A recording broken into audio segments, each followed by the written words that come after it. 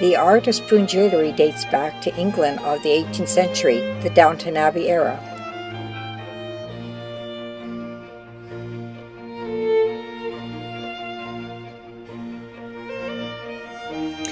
During that time, it was known that servants who worked in the mansions of the landed gentry and unable to afford jewellery of any kind occasionally pilfered the silver spoons from the place settings to fashion wedding rings and other pieces.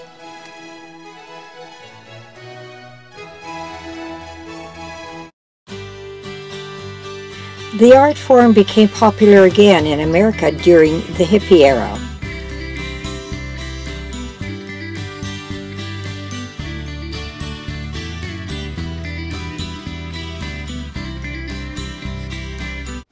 Spoon jewelry is now enjoying a resurgence as the ultimate in upcycled, repurposed green jewelry. My name is Diane. My passion is vintage and antique silver.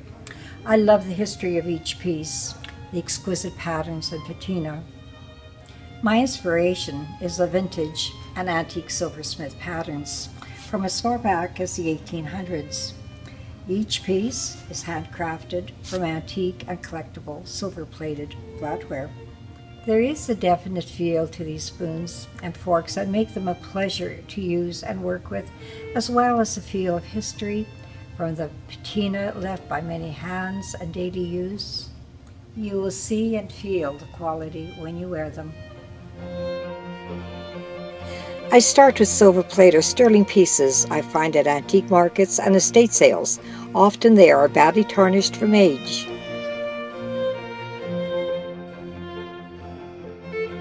The process involves several tools, cutters, benders, polishing compounds.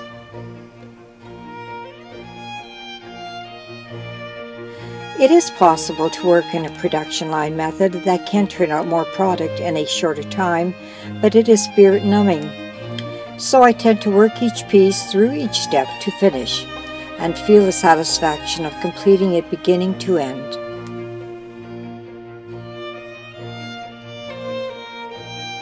I love to improvise and I hate to buy new when something used will do, so some of my tools I have modified for a specific job.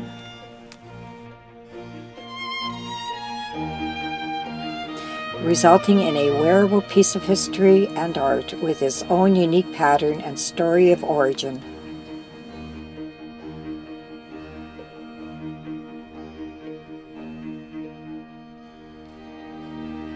Each spoon bracelet is fastened with a strong clasp and sterling silver connector.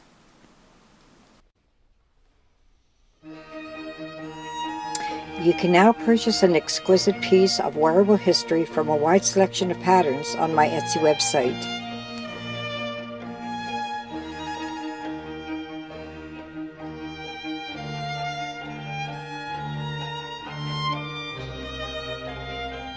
The Downton Abbey era is over, but you can still experience a little of the romance and quality. Let me fashion a piece for you so you can.